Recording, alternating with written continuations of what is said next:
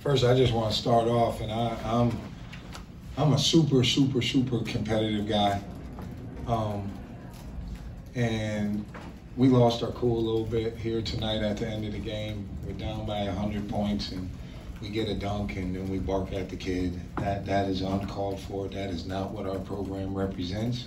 That is not what our program stands for. You get beat by a better team, you shake their hand and you walk off the court and you take in the experience. And we, we were, I think my kids' feelings were hurt um, because how we got dominated and, and we acted out of character. And then we ran off the court and the kids were yelling back at your, your student section and that, that is not who Monmouth basketball is. And we addressed it. That's what took me so long to get in here this was a great experience for our school.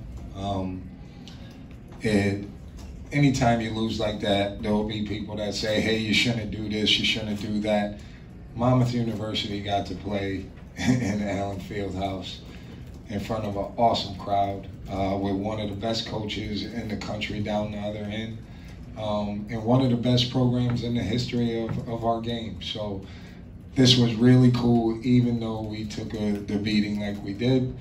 That can happen sometimes, but um, I'm, I'm happy that I got to coach here. I've been wanting to do this for a long time. Um, coach Brown brought me here for a USA basketball tryout back in 87. That was my only time really in this building.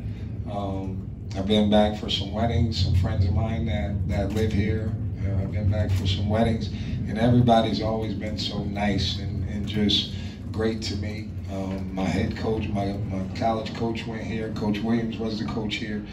Um, I just feel so blessed that I got to sit on that sideline at least one time to just to take it in. That's why when we were losing, I just looked up and just because I've heard so much about it. So I, I was like, I'm not gonna pass up this opportunity. Let me look around at these faces in this building that make it like this all the time. So I'm sorry my team didn't play as well as we think we can. Um, and I'm sorry we lost our cool a little bit at the end to when you're, when you're losing a game like that. But thanks to Coach Self for bringing us out here and, and giving us this opportunity to play at this amazing university.